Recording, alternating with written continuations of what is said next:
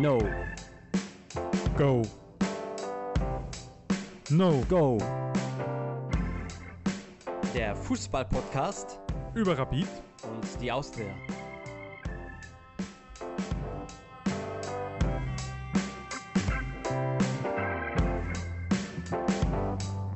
Hallo und herzlich willkommen. Hier ist Logo mit Folge 110. Stefan Pause. Nö. Also, nein. Ja, so schaut's aus. Egal ob Länderspielpause vorherrscht oder nicht, No-Go ist stets auf Sendung, weil Stefan, es gibt immer was zu erzählen über die Austria und Rapid. Genau, irgendwas werden wir schon aus den Fingern saugen. So auch heute. Ja, weil es, es gab ja Spiele und es gab auch Pflichtspiele, es gab Testspiele. Ähm, ja, also von daher gibt es Genau, auf jeden Fall Dinge zu berichten. Wir werden die, die, eure Bedürfnisse stillen, indem wir, indem wir darüber berichten und wir werden einen Blick wieder mal auf unsere Leihspieler richten. So schaut's aus. Sowohl auf violetter Seite als auch auf grün-weißer Seite werden wir uns gucken, wer ist da noch alles verliehen, wie stellen sich die Herren im Moment an und äh, vielleicht auch so ganz kurzer Ausblick, ja, was meint, bringt vielleicht was denjenigen dann wieder zurückzuholen oder auch nicht oder ja, wie sieht die Lage dementsprechend aus? Genau, also wieder eine picke-packe volle Sendung. Wir Mal schauen, wie lange trotzdem, sie dass wir es dauert. knackig machen, Stefan, ne? Genau, lassen wir es uns knackig machen. Genau. Deswegen red nicht um den heißen Brei herum. Genau, Beginnen wir. Ja, fangen wir an mit dem, mit äh, einem der, der, der beiden Pflichtspiele des vergangenen Wochenendes. Da Genau. war in der Regionalliga Ost. Die Young Violets waren dort im Einsatz, während Rapid 2 ähm, ja nicht am Start war, erst am 2.4. das Match diese Runde nachträgt. Genau. In der Regionalliga Ost war die Austria beim Sportclub zu Gast. Es war der letzte Auftritt der Austria im alten Sportclub-Stadion. Das wird ja jetzt dann renoviert. Und da hat man sich gedacht, da gönnt man dem Sportclub noch einen Heimsieg und er hat sich 3-0 geschlagen geben müssen. Es war eine verdiente Niederlage. Die Chancen, die sich die Austria erarbeitet hat, konnten nicht genutzt werden. Und der Sportclub war eigentlich über 80 Prozent die wirklich spielbestimmende Mannschaft und deswegen auch eine verdiente Niederlage. Und ja, die Austria befindet sich jetzt in der Regionalliga Ost immer mehr äh, im oberen Tabellendrittel, aber auch irgendwie im Niemandsland, weil es dann schon um ganz oben äh, mitzufighten, ist der Abstand dann zu groß, aber mit dem Abstieg hat man natürlich auch nichts mehr zu tun in dieser Saison. Ja, also ich denke mal, wird eh jetzt nicht, nachdem er Stripfing noch hat, schauen wir mal, wie da in diese Richtung alles weitergeht. Ähm, wird es ja, glaube ich, jetzt derzeit keine wirkliche Tendenz geben, aufsteigen zu wollen, zu müssen, im Gegensatz zu, zu Rapid 2. Und so wie du gesagt hast, eben mit unten hat man auch nicht wirklich was zu tun. Ähm, aber gibt es von dir irgendeine Einordnung oder wie siehst du die Entwicklung jetzt unter Stefan Helm 2024 war noch kein tolles für die Young Violets? Naja, wenn man gegen den Tabellenführer einen Unentschieden erkämpft, dann finde ich das jetzt nicht so, so schlecht. Man muss Sagen wir auch- mal rein von den Punkten, von, von den Punkten meine ich jetzt ja vier ja, aber Spiele. man muss natürlich, aber man muss dann, ich, ich möchte jetzt nicht schon wieder alles schönreden, aber da muss man natürlich auch die, die, die Umstände, die Begleitumstände da ähm, mit bedenken. Und zwar jetzt ist Länderspielpause und die Austria hat halt einen Haufen Nachwuchsspieler, auch die, die bei den Young Violets äh, normalerweise zum Zug kommen, die bei den diversen Nach äh, Nachwuchsnationalteams jetzt unterwegs sind. Man lässt, lässt da natürlich auch alle ziehen. Ähm, gegen Rapid war man auch ersatzgeschwächt und durch äh, aufgrund von Sperren und Verletzungen und Krankheitsfällen. Also so schlecht finde ich den Auftritt gar nicht. Äh, es, sind, es, ist, es ist das jüngste Team der Regionalliga Ost, ähm, auch wenn man sich dann mit Rapid 2 matcht. Und wie du auch richtig gesagt hast, ich glaube, die Young Violets haben dieses Jahr keine Ambitionen aufzusteigen. Und aus, aus diesem Grund glaube ich, ähm, dass man ihnen die Zeit gibt, die sie brauchen. Und ähm, wieder wie Ewe Made zum Beispiel, ein Leistungsträger der Young Violets im Herbst, ähm, der hat es jetzt in den Kampfmannschaftskader geschafft und das ist ja nicht nichts. Also ich glaube, dass man mit der Arbeit auch vom Stefan Helm bis jetzt da ganz zufrieden sein kann. Äh, man äh, erkennt ein, ein, ein Spielsystem und noch einmal, ich habe noch nicht viele Spiele von den Young Violets in diesem Jahr live gesehen oder in dieser Saison live gesehen, aber alleine die Entwicklung vom Derby 1 zum Derby 2 ist schon eine ganz beachtliche. Okay, das heißt, trotz ähm, nur zwei Punkten aus den letzten vier Spielen, alles, alles kein Problem, weil es ist eine gewisse Entwicklung da. Auf die Entwicklung gerade bei den zwei Teams kommt es an und äh, du also jetzt völlig neutral äh, meinst, ähm, man, zieht es jetzt einfach durch. Stefan Helm ist neu, er wird eine gewisse Linie und Konzepte von sich dann auch noch mit reinbringen und äh, dann wird das Kind schon geschaukelt. Genau, und von, von der Spielphilosophie her ist ja Stefan Helm auf einer Seite äh, mit der, des Austria Playbooks. Äh, mhm. Jürgen Werner wollte ja Stefan Helm und, und Emanuel Bogart jetzt schon als Trainer verpflichten äh, bevor Michi Wimmer gekommen ist. Die haben allerdings damals in St. Pölten noch ähm, den Vertrag verlängert und waren daher unleistbar für die Austria. Äh, man kennt sich da schon aus gemeinsamen Lask-Zeiten und äh, man, versteht sich sehr gut und man hat vom Spielverständnis her dieselbe Einstellung und dieselbe Herangehensweise und deswegen glaube ich, oder bin ich davon überzeugt, dass Stefan Helm für den Verantwortlichen eine gute Arbeit leistet und solange Jürgen Werner das Sagen bei der Austria hat, wird, wird das auch so bleiben. Meinst du, dass man äh, auf sagen wir, mittelfristig Stefan Helm vielleicht auch in eine Position bringt, um dann irgendwann die Kampfmannschaft übernehmen zu können, wenn äh, Michi Wimmer womöglich dann irgendwann den Next Step macht? Also Stefan Helm hat sich ja schon bewiesen, dass er, dass er in oberen Ligen auch trainieren kann hat ja den großen Teil seiner, seines Trainersdasein bei St. Pölten auch relativ erfolgreich gestaltet. Also ich denke schon, dass man ihm auch das Vertrauen geben könnte, äh, die Einzelmannschaft zu übernehmen. Aber derzeit stellt sich Gott sei Dank die Frage nicht. Natürlich, ja, auch mit Trainern kann man ja. heutzutage schon Geld machen. Gut, ähm, von deiner Warte aus noch mehr zu sagen zum violetten Nachwuchs oder stand jetzt nicht? Stand jetzt nicht, außer ich habe schon wieder was vergessen. Nee, nee, alles, nee, nee alles, alles gut, dann können wir elegant überleiten, weil von, von, daher, auch wenn du sagst, nicht die große Aussagekraft da, äh, während es bei den äh, Young Violets eben punktetechnisch noch nicht so gut aussieht und äh, man eben 2024 noch ohne Sieg da steht, ist das komplette Beispiel davon, wie am Schnürchen läuft es für die Austria Frauen.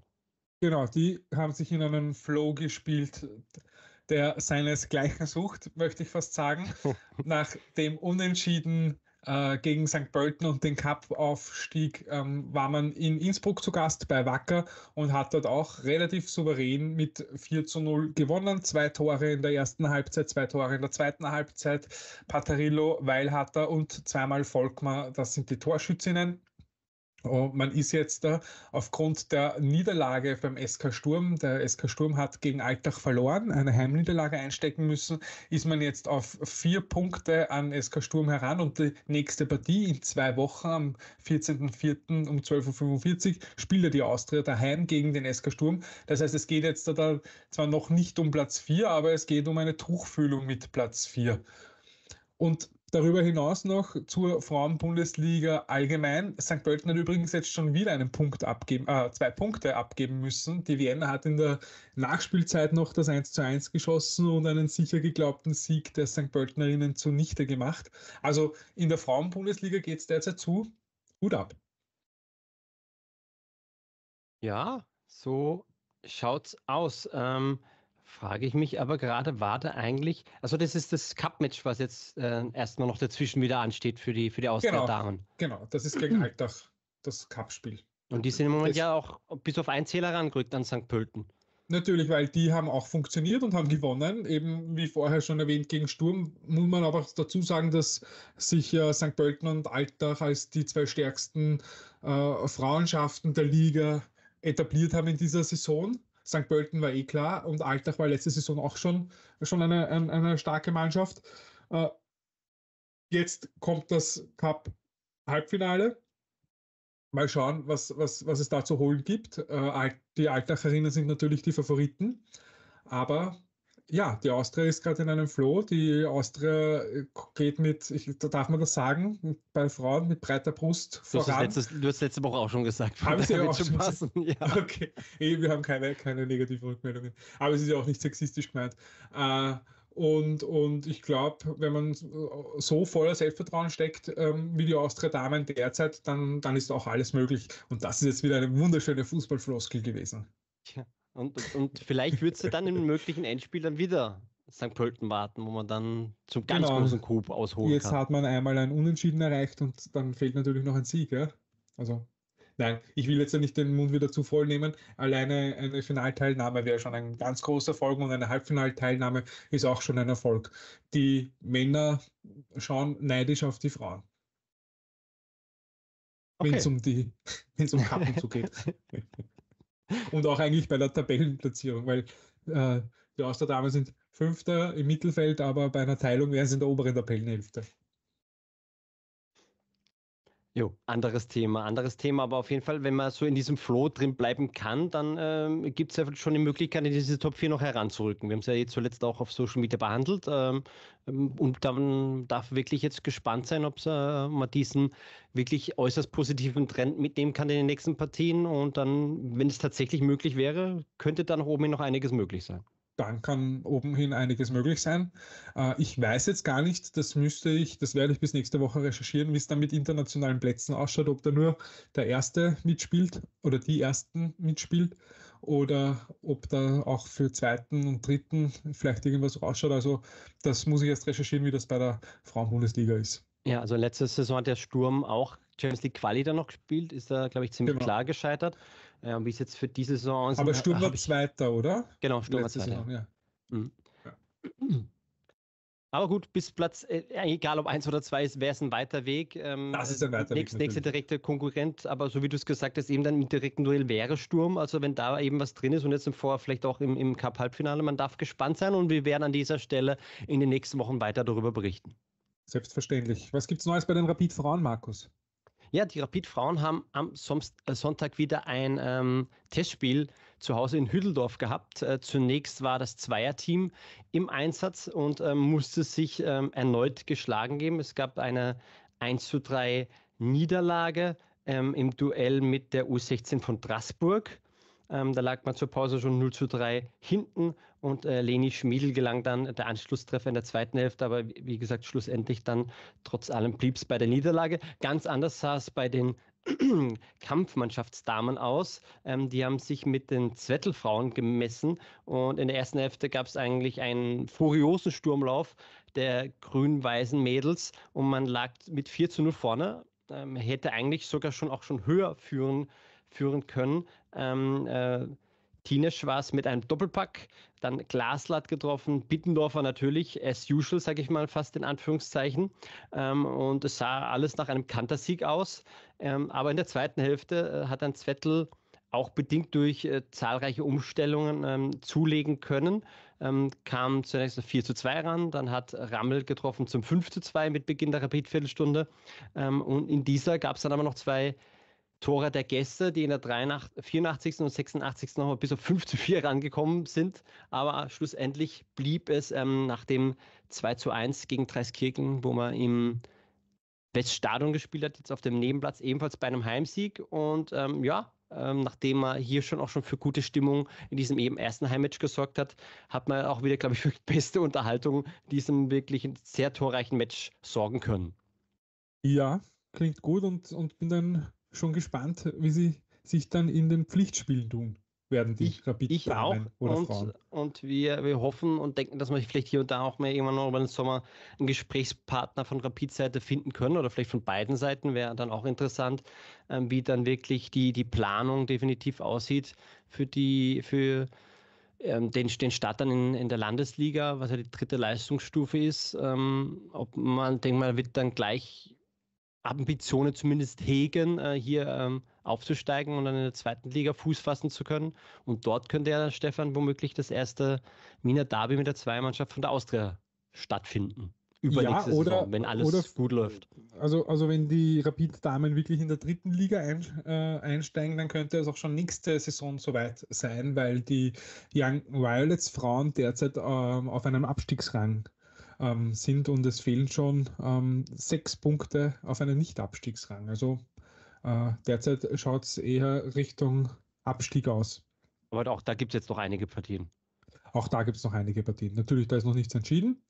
Das letzte Spiel hat man aber gegen die Lask Frauen, die der Tabellenführer sind, 7 zu 0 verloren. Mhm. Und ja, das nächste Spiel ist dann gegen Union Graz Und die sind Neunter, also die sind ein direkter Gegner. Äh, das sind direkte Gegnerinnen äh, gegen den Abstieg. Okay, das heißt richtungsweisend und Richtung Bundesliga genau. sieht es dann so aus, als würde Innsbruck absteigen und der Lask aufsteigen derzeit. Genau. Okay. Gut kombiniert, Deutscher. und, und, Inns und Innsbruck 2 könnte dann nächste Saison schon Geg auch Gegner sein von, von den Rapid-Damen. Wenn ich das richtig sehe, ich glaube, die waren da auch ziemlich abgeschlagen in der zweiten Liga mit der zweiten Mannschaft hinten. Äh, Beziehungsweise müssten wahrscheinlich, wenn die Einzelmannschaft absteigt, ohnehin ab, auch absteigen. Genau, Innsbruck 2 ist gar nicht in der zweiten Frauenbundesliga. Okay.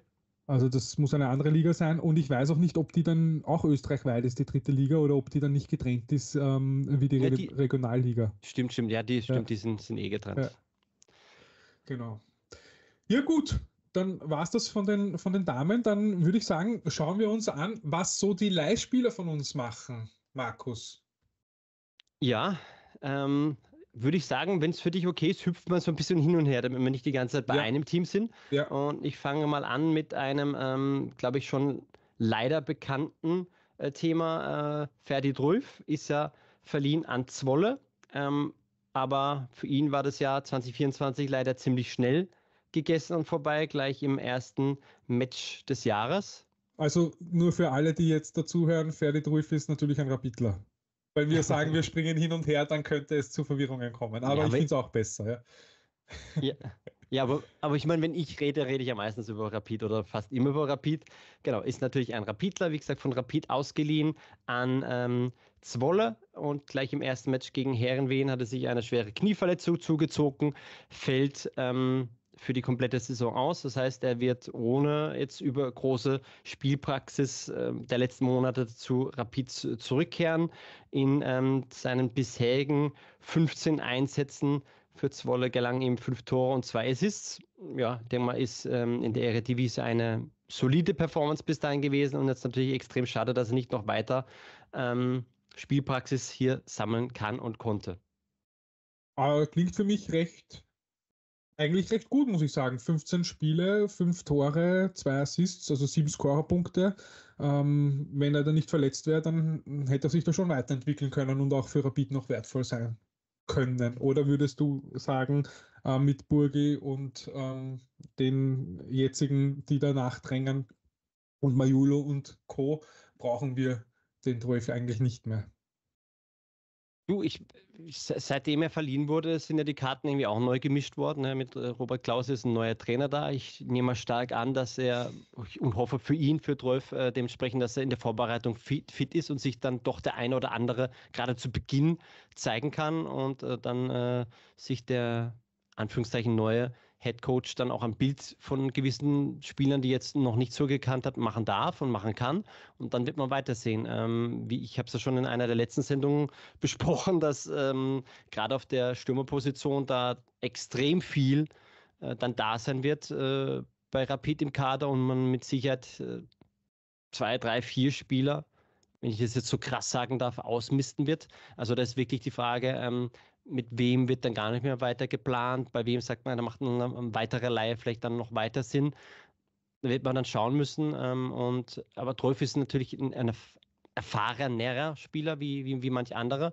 Äh, spricht auf der einen Seite für ihn, auf der anderen Seite, ähm, vom, dass jetzt die Wahnsinnsentwicklung noch hinlegen wird und alles niederreißt, ist jetzt wahrscheinlich auch nicht so zu erwarten, aber ich glaube, man weiß bei ihm mit am meisten, was man erwarten kann, was man erwarten darf und ähm, ja, es ist halt die, die, die Frage, ob, ob ihn dann vielleicht der Trainer auch sagt, okay, ich sehe ihn äh, noch als Multiwaffe für hinter den Spitzen und oder am Flügel. Gerade außen würde ich ihn jetzt nicht unbedingt sehen, dahinter eventuell noch. Aber dann ist wirklich die, die, die Frage, ähm, welchen Mehrwert neben der Stürmerrolle, ähm, die wahrscheinlich hauptsächlich im Burgstall einnehmen wird, ähm, man noch sehen kann.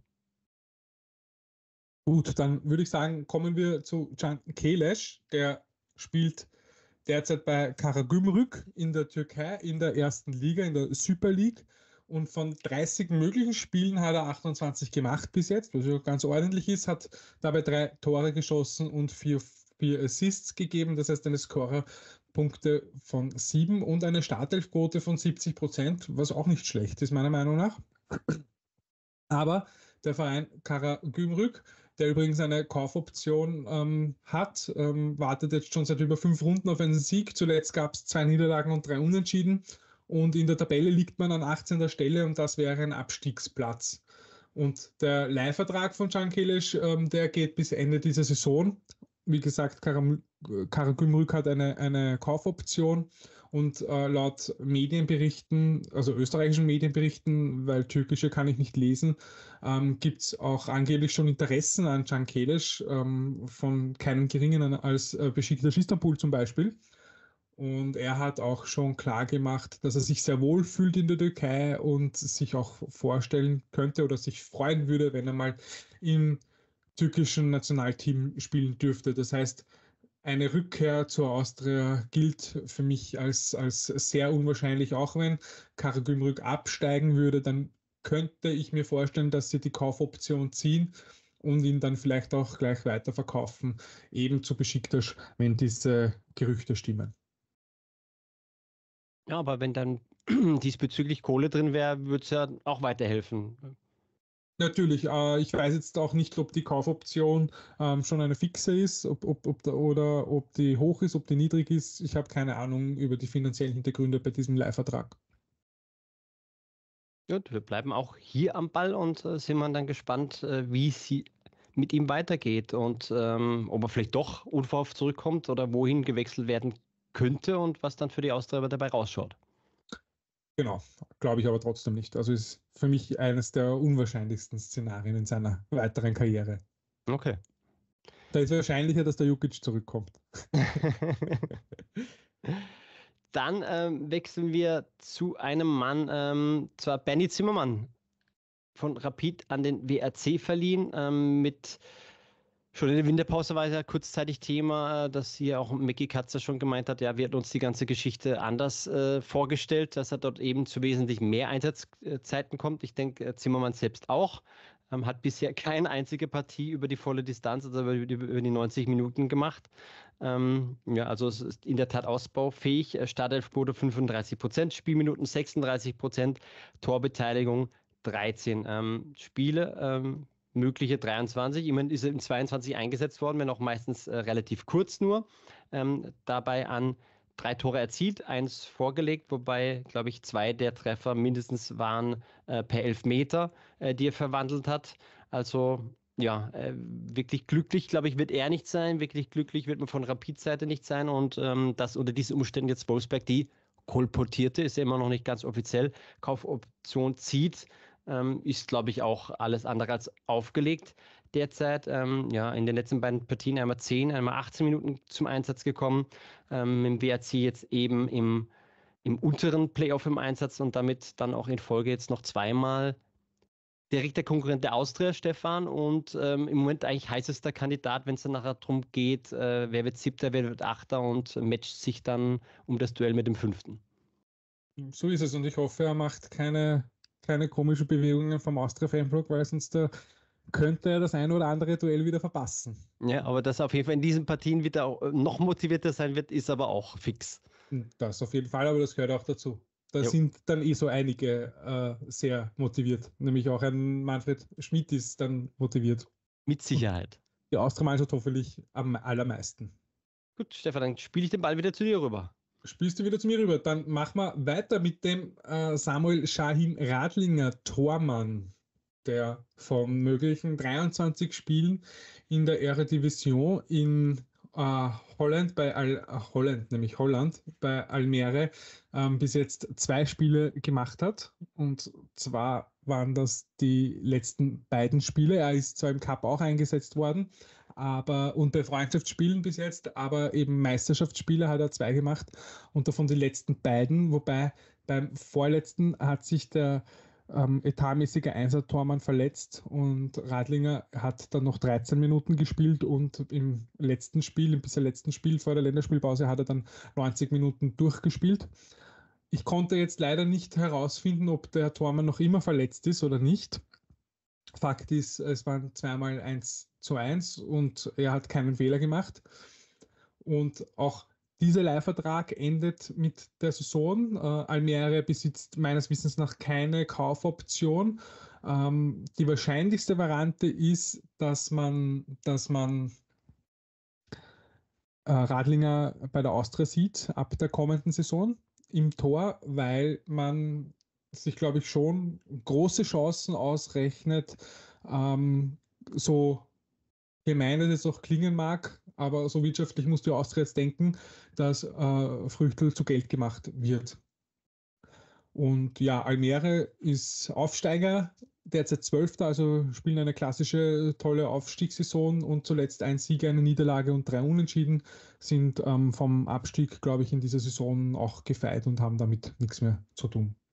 Gut, dann ähm, bleiben wir, sagen wir, ein bisschen in der Defensive ähm, von Rapid. Im Moment an Freiburg 2 verliehen ist Pascal Fallmann, ähm, 20 Jahre jung, ähm, hat bis jetzt von 30 möglichen Spielen 27 für die zweite Mannschaft der Freiburger gemacht. Dabei 53% Startelfquote, 59% aller äh, Spielminuten absolviert und 7% Torbeteiligung, heißt eben in 27 Spielen zwei Vorlagen abgeliefert. Ist oft so, ähm, also meistens so, dass er als rechter Verteidiger teilweise auch mal als Rechtsaußen aufläuft und oftmals ähm, wird hier gewechselt, wenn ähm, sein Kontrahent startet, dann wird eher zur Halbzeit oder 60. sowas gebracht, beziehungsweise auch umgekehrt. Von daher wird sich hier relativ gleichmäßig aufgeteilt auf der Position.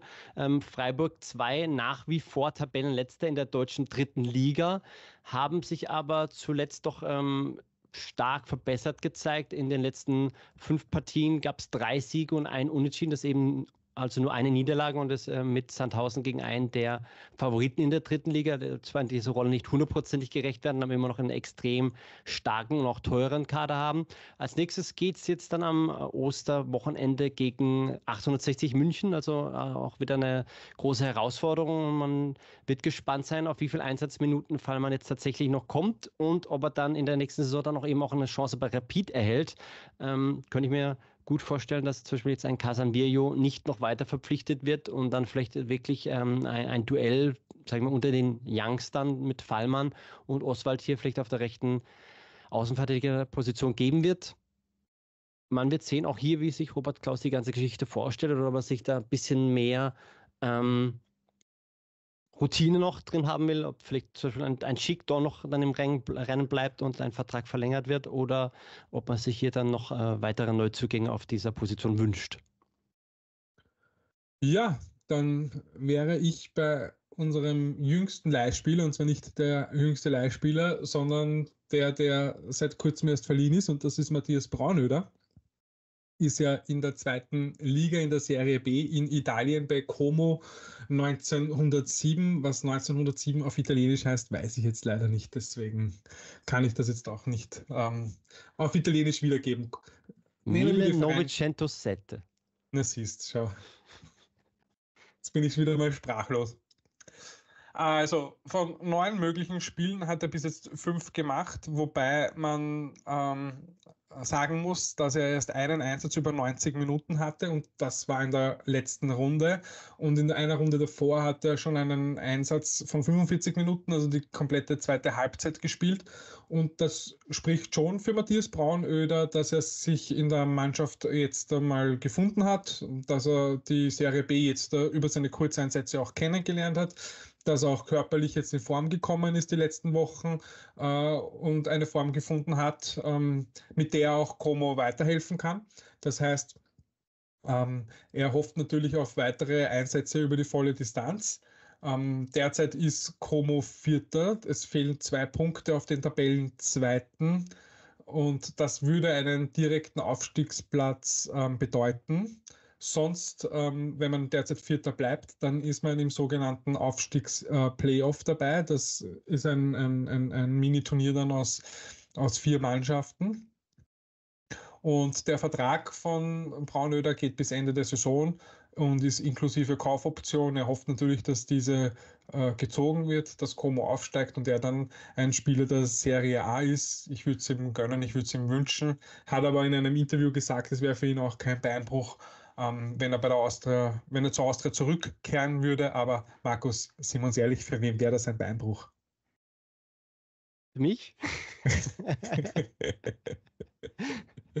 ja, gut. Äh, es ist natürlich klar, wenn er hier bei der Austria groß geworden ist, wäre es jetzt für ihn und er eine gute Zeit, eine gute Entwicklung der Austria auch viel zu verdanken hat, ist natürlich ganz klar, dass er hier kein, ähm, kein, kein Thema hat, mit, mit hat und zeichnet ihn ja auch aus oder spricht für ihn, dass er, dass er wenn er solche Aussagen tätigt, aber ähm, ja, ich könnte mir natürlich vorstellen, dass für alle eine Win-Win-Situation wäre, wenn die Austria gutes Geld für ihn kassiert, er vielleicht sogar ein Serialgenuss kommt, ähm, ja, geht mit Sicherheit wesentlich schlechtere Dinge. Genau. Für alle Seiten. Genau.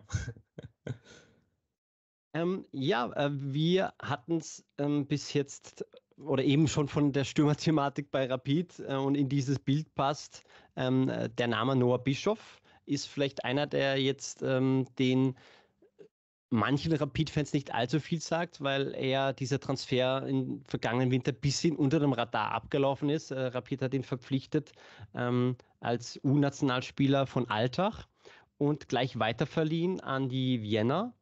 Und ähm, dort hat er bis jetzt in 2024 fünf Partien in der zweiten Liga absolviert, dabei zwei Tore erzielt, zwei Vorlagen abgeliefert, ähm, in vier äh, Partien über die volle Distanz äh, mit am Start gewesen und nur gegen den GRK, wo man die, wo die Vienna ein 2 zu 2 geholt hat, ist er dann nach 78 Minuten vom Platz gegangen. Also ähm, bis jetzt konnte er hier wirklich auf sich aufmerksam machen und ähm, ja, bei dem Thema kann ich gleich nur kurz einflechten lassen, dass die äh, Rapid jetzt in der Länderspielpause eben gegen diese Vienna ein Testmatch hatte vor wenigen Tagen im Allianzstadion, allerdings unter Ausschluss der Öffentlichkeit gab es einen 3 zu 0 Erfolg. Alle drei Tore gingen aufs Burg, äh, aufs Konto von Guido Burgstaller, wobei ein Tor wird zwar jetzt als, als Eigentor gewertet, weil er noch abgefälscht war, aber trotzdem der Captain war erstens wieder mit am Start und war dann eben auch an allen drei Treffern beteiligt. Zwei davon aufgelegt worden von Sadie, also der macht ebenfalls auf sich aufmerksam. Und man darf wohl sowohl bei Noah Bischof, der jetzt eben wirklich hier in Liga 2 auf sich aufmerksam macht, was ein Majulo aber in der vergangenen Saison auch tat, ähm, als dann eben auch äh, bei der Entwicklung von ihm gespannt sein, wie es weitergeht und äh, wie man dann von Rapid-Seite in der kommenden Saison mit ihm plant. Gut, dann komme ich zu meinen letzten Leihspielern und die mache ich jetzt im Blog. Das musst du jetzt leider durchhalten, weil es geht um die Kooperationsspieler in Stripfing. Ähm, Stripfing ist derzeit Zwölfter, hat elf Punkte Vorsprung auf einen Abstiegsplatz. Das letzte Spiel gegen Horn hat man tragischerweise erst in der Nachspielzeit verloren. Da hat man 1 zu 0 geführt bis zur 90. Minute und musste dann noch ähm, äh, sich 2 zu 1 geschlagen geben gegen Horn. Und ja, der neue Trainer, der Stripfinger, der wird auch schon angenehmere Zeiten gehabt haben. Ja, klar, war ja auch Young Violets Trainer und das ziemlich erfolgreich, aber hat alle Spiele 2024 bisher verloren und eben das letzte dann besonders knapp. Man erkennt zwar einen Aufwärtstrend, aber trotzdem Zählbares hat noch nichts rausgeschaut. Und wenn man dann denkt, dass man zeitweise im Herbst auch an die an die oberen Tabellenplätze angeklopft hat oder zumindest hingeschaut hat, dann ist das doch sehr ernüchternd, was da jetzt gerade gezeigt wird. Äh, es hat jetzt in der Länderspielpause auch ein Testspiel gegen Ried gegeben in der Austria Akademie, also ein Heimspiel. Das hat man 6 zu 1 verloren. Ui. Das nächste Spiel ist dann Ende März, nämlich am 31. März, am Sonntag um 10.30 Uhr gegen die Vienna, also gegen den zuvor angesprochenen Noah Bischof, das Matinee-Spiel am Sonntagvormittag um 10.30 Uhr. Und ja, da ist Striffing jetzt schon ein bisschen unter Zugzwang, weil sie müssen schon langsam äh, mit den Punkten beginnen in dieser Saison. Sie haben zwar noch einen Polster von elf Punkten auf dem Abstiegsplatz, aber äh, wenn man da jetzt da weiterhin nicht punktet und die anderen schon, dann äh, schmilzt der natürlich auch und dann wird es vielleicht auch ungemütlich, jetzt nicht nur bei den Lizenzthemen. Äh, Stripfing ist gespickt mit Kooperationsspieler äh, von der Austria. Da ist zum einen Sandali Condé im Tor, dann äh, Florian Kopp, Dejan Radonjic, ähm, Tobias Polz, äh, Leonardo Ivkic, Enis Safin, Timo Schmelzer, Dario Kreiker, Sanel Sajic seit Winter, Denis Dizdarevic und äh, Daniel Ouyang. Und dann haben wir da ja auch noch den Silva Kani, den wir ja eigentlich ähm, für die Kampfmannschaft äh, verpflichtet haben. Der hat übrigens erst vier Spiele äh, gemacht und seit 3.9., also seit 3. September ist er auch nicht mehr im Kader. Soviel ich weiß, trainiert äh, Silva Kani auch ähm, die ganze Zeit bei den Profis mit. Von einer Verletzung weiß ich nichts. Ähm, Sanel Sajic ist ein Stammspieler bei Stripfing, Dario Kreiker ist ein Stammspieler äh, bei äh, Stripfing, Florian Kopp ist ein Stammspieler ähm, und die anderen spielen entweder nicht, sind verletzt oder Ergänzungsspieler. Also Tobias Polz zum Beispiel hat noch kein Pflichtspiel bestritten in dieser Saison. War viel verletzt aber auch, ne? War auch viel verletzt aufgrund von Verletzungen. Äh, Leo Iv Ivkic war lange verletzt, mit, äh, ist lange ausgefallen mit einer Rückenverletzung, hat aber die letzten beiden Spiele gespielt. Also ja, die Spieler, die spielen, die performen auch, ähm, äh, so, so, viel ich, so viel ich sehen kann. Und äh, ich denke, vom, am Spielermaterial liegt es nicht. Und ja, ich hoffe, dass sie auch bald alle in die Spur finden werden. Wir sind gespannt und so wie du es gesagt hast, vor, ist der Vorsprung da. Wenn ich es richtig rechne, sind es zehn Punkte auf Sturm Graz 2. Und ähm, ja, man, man, man wird sehen, wie diese Richtung weitergeht, aber so wie du äh, korrekt wiedergegeben hast, äh, langsam wird es Zeit, dass man dann hier mal wieder punktet. Ja, natürlich. Weil für das sind wir ja da. Richtig.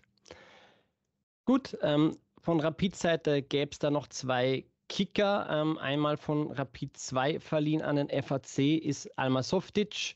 Ähm, ist jetzt auch erst im Winter vonstatten gegangen, dass er sich hier äh, den Floridsdorfern angeschlossen hat. Ähm, bis jetzt erst von fünf möglichen Partien zwei absolviert. Ähm, keine Startelf, nur 6% aller Spielminuten und noch keine Torbeteiligung, also insgesamt gerade mal 28 Minuten gesammelt. Ähm, da wird man jetzt gespannt sein. Ähm, FAC ist ja prinzipiell gut drauf und ähm, weit oben mit dabei im, im Tableau. Ähm, ja, ist da, glaube ich, in einer relativ erfolgreichen Mannschaft nicht so leicht dort reinzurutschen, wird sich hoffentlich über den einen oder anderen ähm, Joker-Einsatz dann für mehr, ja, mehr Minuten empfehlen. Dann äh, das Gleiche, und hier war er geduldig und die Geduld hat sich ausgezahlt, war ich bei Aaron Skies Schwarz. Er ist äh, weiterhin verliehen an Austria Klagenfurt unter der Fittiche von Peter Parkhult und ähm, hat in der Saison bis jetzt 14% Startelfquote, 25% aller Spielminuten gemacht und 15% Torbeteiligung. Heißt, von 22 möglichen Partien hat er 13 absolviert, dabei drei Tore und eine Vorlage geleistet, also vier Scorerpunkte und ähm, zweiter Scorerpunkte gegen Rapid. Beim letzten Duell eben die Vorlage zum Ausgleich gemacht und in Hütteldorf äh, gar zum äh, dritten oder zum ja, mitentscheidenden Tor selbst getroffen gehabt. Ähm, also sich hier bei den Verantwortlichen des SCR nachhaltig in Erinnerung gerufen. Ich meine, 2024 hat jetzt seine Einsatzzeiten doch deutlich steigern können, was aber natürlich auch mitunter an der ja, Verletzungsmisere in Klagenfurt ein bisschen dem geschuldet ist. Nichtsdestotrotz, äh, glaube ich, hat er sich eben mit den ein oder anderen Toren, äh, eben jetzt immerhin in den vier Partien ähm, des Frühjahres äh, schon drei Torbeteiligungen, denke ich mal, auch bei Peter Packold nachhaltig in Erinnerung gerufen. Und ähm, ich seh, bin eigentlich guter Dinge, dass er auch jetzt in, den, in der Meisterrunde hier und da zu seinen Einsatzzeiten kommen wird. Und man darf gespannt sein, ob eben am Ende doch weitere Tore, Torbeteiligungen stehen. Und er wird dann eben auch ein Kandidat sein, wo Rapid in der kommenden Saison die Qual der Wahl hat, was man mit ihm tut, ob man ihn hier weiter integriert. Denke mal, für die zweite Mannschaft in der Regionalliga Ost ist er jetzt schon weiterentwickelt und dafür in Anführungszeichen zu schade. Ähm, aber entweder vielleicht eine weitere Leihe oder eben, dass man schaut, man baut ihn in die Kampfmannschaft ein. Da bin ich wirklich gespannt. Ja. Weil das ist ein Spieler mit Potenzial, meiner Meinung nach. Sehe ich auch so, sehe ich auch so, aber ja, gerade auf den Außenpositionen ähm, waren jetzt ja doch äh, der ein oder andere Kicker, ähm, der sich äh, für mehr empfohlen hat. Äh, man, man darf hier gespannt sein. Ihm dann auch liegt es an Robert Klaus, wie mit ihm geplant wird, ob man sagt, okay, vielleicht noch ein anderes Jahr entweder weiter in Klagenfurt oder vielleicht woanders in der Bundesliga weiter reifen oder eben gleich sagt, wir trauen ihm zu, ihn sofort äh, bei Rapid in die Kampfmannschaft zu integrieren. dort jetzt gerade wieder integriert, äh, um beim Stichwort zu bleiben, jetzt ab dieser Trainingswoche ähm, wieder mit am Start ist Nina Cvetkovic nach seiner nach seinem Kreuzbandriss jetzt also wieder Retour und ähm, der Plan wird so sein, dass er knapp einen Monat, also wahrscheinlich Anfang Mai, äh, vielleicht wieder so fit wird, dass es für Einsätze reicht. Ähm, ja, ich denke mal, man wird von Rapid und Spielerseite hier nichts riskieren, um irgendwie zu früh anzufangen. Aber natürlich ähm, positive Signale, ähm, dass es hier wieder in einer Art Normalität für den Spieler geht und er eben jetzt wieder auch mit den Kollegen am Platz stehen kann. Ja, alles Gute natürlich, ähm, dass, er, dass er wieder voll fit ist und so alter Stärker findet, außer gegen die Austria natürlich. Ja, und wir sind auch gespannt, wie es bei den beiden Youngsters der Austria aussieht, wann sie dann wieder so richtig ins Geschehen, also mit den Teamkollegen eingreifen können. Im Trainingslager waren sie ja mit dabei, genau. was, du, was du berichtet hattest. Machen noch Individualtraining und sind aber schon bei der Mannschaft und ich denke, dass es da zur Sommervorbereitung soweit sein wird. Sollte dann nichts dazwischen kommen. Also da wird, wird ja neben Ragut dann auch, ähm, auch eben El Shavi und ähm, Mustinger. Mustinger, genau. Wieder zurückerwartet. Ja, auch hierfür alles Gute und äh, wir sind gespannt und hoffen dann eben dann auch über diese jungen Wilden, wie es die ganze Zeit bei der Austria hieß, äh, dann wieder berichten zu können. Und wenn dann mehr von denen wieder am Start sind, äh, kann man hoffentlich wahrscheinlich den Altersdurchschnitt auch in Favoriten wieder weiter senken. Ja, auf jeden Fall und auch mehr Spieler wieder im Kader oder vielleicht auch aufs Tableau bringen, mit denen sich die Fans natürlich viel lieber identifizieren, als ähm, wenn man neue Spieler verpflichten müsste. Mhm. Gut, Markus, dann würde ich sagen, schauen wir mal zum Tippspiel. Ja. Der No-Go-Tipp der Woche am vergangenen Wochenende. Wir haben jetzt zwar doch einiges zu berichten gehabt, aber Tippspieltechnisch war nicht so viel los. Ähm, es gab eben eine einzige Partie. Ähm, das war das Duell, wie schon von dir äh, berichtet, äh, zwischen dem Wiener Sportclub und den Young Violets. Ähm, da gab es den Danny 1899, der hat auf ein 13-0 getippt und fünf Punkte, den einzigen Fünfer an diesem Wochenende einsammeln können. Ansonsten bei den Top 10 null Veränderung, weil überall null Punkte und dahinter eben der Brazzo Stuntman. Ähm, News 62, Rapidviertelstunde gab es einige, die zwei Punkte, also die Tendenz richtig haben. Stefan und ich haben uns also auf Rücksicht auf die anderen Mitspieler zurückgehalten und äh, entschlossen, nicht weiter zu punkten. ja, ich hätte es nicht besser ausdrücken können. Ja, aber dafür wollen wir jetzt ähm, am nächsten Spieltag, und das ist schon der letzte im März, nochmal richtig angreifen, Stefan.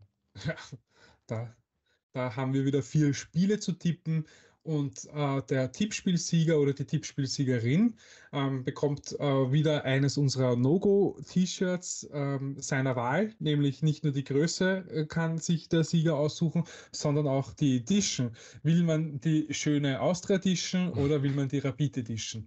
Das ist die, ebenfalls schöne, wolltest du sagen. Die ah, habe ich das jetzt vergessen. Ja. Nein, schönere wollte ich auf keinen Fall sagen. Das, das, war jetzt, es tut mir leid, da bin ich meinen Verpflichtungen jetzt nicht nachgekommen, aber ich werde es jetzt nicht wiederholen, weil ihr habt ja das jetzt eh schon gehört. Und am kommenden Wochenende gibt es vier Partien zu tippen, also wieder volle Pulle. Genau, und derzeit zwischen uns beiden, Steffen, ist so, du hast 14 Punkte, ich habe 20 Punkte. Wie gesagt, daran hat sich nichts geändert. Das heißt, du müsstest jetzt diesem letzten Wochenende sechs Punkte gut machen. Ähm, oder ja, damit, um zumindest gleich zu ziehen.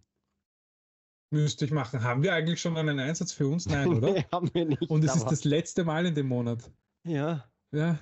Ja, dann müssen wir euch dann via Social Media diese Woche äh, benachrichtigen, weil wir haben noch nichts ausgemacht. Wir haben zwar viel Vorgespräche gehabt, aber nichts über wichtige Dinge offensichtlich. Ja. Ja. ja. Aber nichtsdestotrotz werden wir jetzt trotzdem tippen, Stefan. Genau. Äh, du bist die Führung. Jo. Das heißt, ich lege vor. Wenn du das möchtest. Oder legst, legst, du vor? Du liest ja, vor eher. Ja, du liest genau, vor, ich lege vor. Ja, okay. Das heißt, am Freitag um 19.30 Uhr äh, finden zeitgleich zwei Spiele statt, wahrscheinlich mehrere, aber zwei, die uns beim Tippspiel betreffen. Nämlich zum einen empfängt die Austria Wien den, äh, den FC Blaues Linz zum Ostereier suchen im, in der Generali Arena. Was ist dein Tipp? Ich sage, es gibt ein 2 zu 1. Okay, ich sage ein 3 zu 1. Und zeitgleich in Dreiskirchen tritt Rapid 2 wieder mal auf. Was ist da dein Tipp? Das sage ich 1 zu 2. 1 zu 2, das wollte ich auch sagen. Dann sage ich 0 zu 2. Gut, und dann am Samstag um 16 Uhr ähm, treten die Young Violets auf äh, in der Regionalliga Ost gegen Mauerwerk. Ja, das wird mit Sicherheit, glaube ich, ein, ein ja, interessantes und schauen wir mal richtungsweisendes Spiel. Ähm, Mauerwerk er hat zuletzt ja mal hier oder da mal überraschen können, aber es ist ja. immer noch Vorletzter im Tableau und ich sage, es gibt den ersten drei für die Young Violets 2024 und zwar ein knappes 1 zu 0. Ach, vielleicht, Gott, vielleicht, ja, vielleicht, das, Ho vielleicht sogar Hosina und der Werner Duff W. Ja. Okay, ich wollte auch 1-0 sagen, dann sage ich jetzt äh, statt 1-0 sage ich natürlich dann 3-1. Okay. Und ähm, Sonntag um 14.30 Uhr ähm, geht es im Meisterplayoff. Äh, kommt es zur Partie TSV Hartberg gegen Rapid Wien in Hartberg. Markus, wie ist da dein Tipp? Hm, das sage ich 0 zu 1. 0 zu 1, das sage ich 1 zu 2. Cool. Gut. Dann sind wir gespannt, was ihr da draußen noch mit euren Tipps sagt und äh, ja, wie ihr eben eure Prognosen gestaltet. Und Stefan, wenn man mitspielen will, ist es jederzeit möglich. Genau, unter kicktipp.at slash nogo könnt ihr euch gratis registrieren. Es gibt jedes Monat für euch was zu gewinnen. Das Spiel ist, wie Marco schon gesagt hat, kostenlos möglich und wir stellen auch jedes Monat auf Null. Das heißt, es bringt euch schon noch was, wenn ihr erst jetzt einsteigt. Genau, ihr könnt euch schon mal zurechtfinden, eure ersten Tipps platzieren. Ähm, Nachdem es jetzt noch vier Partien gibt, heißt es eben am Wochenende noch 20 Punkte zu vergeben. Die ersten beiden haben jeweils 26. Das heißt, wenn man jetzt in Mathe äh, nicht ganz schlecht drauf ist, wird es schwer, da ganz vorne noch hinzukommen. Aber ihr werdet dann schon mal vorbereitet für den kommenden Monat. Und da haben wir dann auch wieder, das wissen wir sogar jetzt schon, einen ganz besonderen Preis für euch. Genau, das aber erst nächste Woche. Und Richtig einen Preis kriegt sie natürlich jede Woche beim Tippspiel. Also, ähm, wenn, man, wenn, man, wenn man es aktiviert hat, aber ihr kriegt eine unglaublich lange und ausführliche Nachricht vom Markus als Tipperinnerung. Ich glaube, seine Frau und vor allem ich bin neidisch über so lange Nachrichten, weil wenn es so lange wird, dann kriege ich meistens nur eine Sprachnachrichtung, äh, Nachricht, weil er für mich nicht sich so lange hinsetzt und schreibt. Oh, Stefan, gut. Ja. Dann werde ich das in Zukunft auch wieder für dich tun. Und wie es gibt, dann wird in die andere Richtung Beschwerden. Gut, würde ich sagen, so viel zum Tippspiel und dann. Der No-Go-Tipp der Woche. Gebührt das Ende der Sendung dir, Stefan? Ja, das Ende der Sendung gebührt mir. Ich muss ganz kurz husten. so. Ähm, ja, ich bin jetzt durch, äh, die, durch äh, die Recherche draufgekommen, dass Rapid ein neues Logo, hat, äh, äh, Maskottchen hat. Ja. Hast du das auch mitbekommen? Ja. Wie heißt der Fuchsi? Mhm. Ja. Und ich meine, da wirst du mir jetzt wieder nicht zustimmen, aber äh, Super Leo Veilchen ist natürlich eines der legendärsten Maskottchen, die in der Bundesliga derzeit da sich herumtummeln oder taumeln. Er hat auf jeden Fall schon für Furore gesorgt. Genau. Und ich bin jetzt da auf einen Fun Fact zum Speedy gekommen. Speedy ist wer? Das alte Maskottchen. Genau, das ist ein Fußball mit einer Knollnase, mit einer Rapid-Short. Und äh, getragen hat das Kostüm meistens ähm, ein St. Pöltner, der jetzt äh, knapp über 50 Jahre alt ist, nämlich der Harald Schmid. Und mein Funfact der Woche ist ganz kurz erzählt, der war nicht nur das Rapid-Maskottchen, sondern war auch das Maskottchen vom SK in St. Pölten damals. Und wenn Rapid gegen St. Pölten gespielt hat, hat er das Maskottchenkostüm aus diesem Grund nur bis zum Anpfiff angehabt, weil er das seinen St. Pöltnern nicht antun hat können.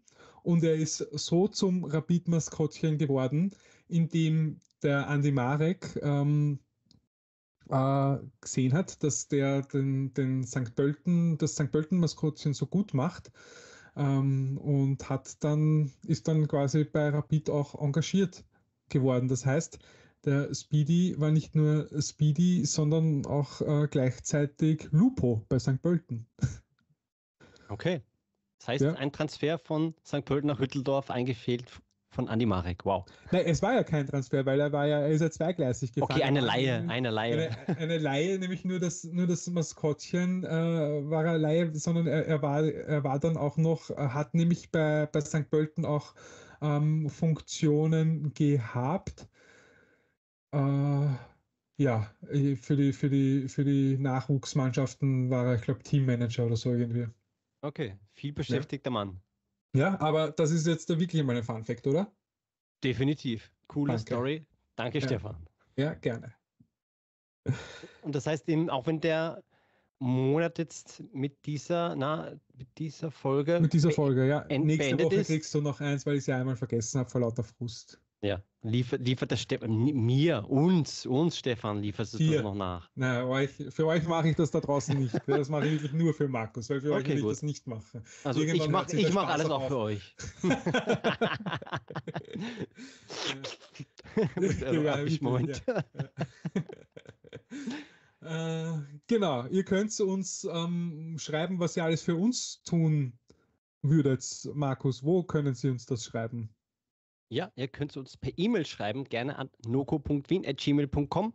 Ihr könnt uns auf den eingängigen Social Media Plattformen schreiben, sei es X, also ehemals Twitter, sei es ähm, Instagram, sei es Facebook, Threads oder auch Blue Sky. Und nicht zu vergessen, YouTube sind wir auch vertreten. Das heißt, direkt dort drunter unter jedem Video äh, könnt ihr auch eure Kommentare posten, uns liken, uns folgen, was auch immer. Das heißt, dort auf jeden Fall mit uns interagieren.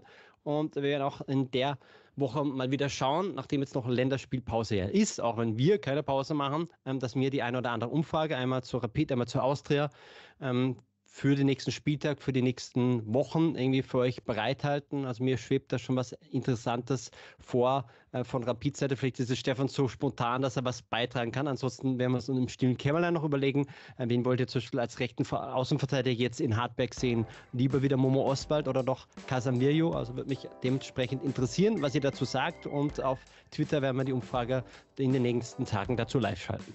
Ja, der, für die Austria wird es natürlich auch eine super Umfrage geben und wir haben uns da schon was überlegt. Aber Ja, die Frage Stefan. kann ich jetzt natürlich noch nicht. Ja, ja, du, du Das- willst nicht, du willst nichts. Ich will ja nicht teasern. Nein. Nein, nein. Ja. Also folgt uns und, und stimmt's dann ab. So schaut's aus, Stefan. Wir haben es geschafft. Wir sind unter einer Stunde geblieben. Zwar nicht Ja. so ganz so knackig, wie wir es vielleicht erhofft haben, aber trotzdem, ähm, ich denke mal, wir haben wieder jede Menge reingepackt. Wir hoffen, für euch da draußen war alles, oder zumindest das meiste, interessant. Und dann hören wir uns nächsten Dienstag wieder.